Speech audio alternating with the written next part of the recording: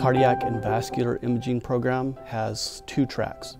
Uh, you can finish within one year for the clinical aspect, and it is part of the Bachelor's in Radiation Sciences. The first track is the cardiac cath lab. Uh, worldwide, the leading cause of death is cardiovascular disease. In the cardiac cath lab, you are imaging the heart to look for pathologies that we can treat for the patient to have a better quality of life.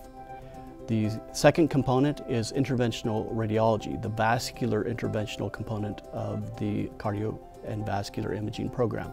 With the uh, imaging technology that we employ, we can uh, see the pathology and often deploy equipment that will treat their ailments before they're off the table. They have an increased quality of life. The flexibility of the design of the program allows the student to choose exactly what they are interested in.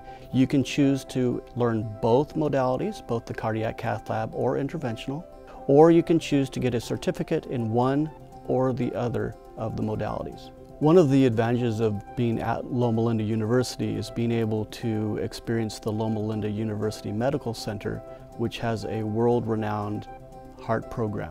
The type of pathologies and the experiences you get at that facility are not to be matched at very many other clinical rotations.